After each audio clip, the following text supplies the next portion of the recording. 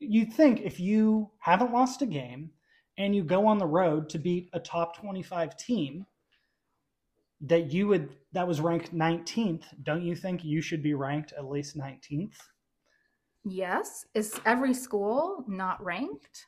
And I'm sorry. what do you mean every school Like, I would have assumed WSU would have a rank. no we're, well there it's kind of it's really messed up how they do it there's a coaches poll an associated press poll Mm-hmm.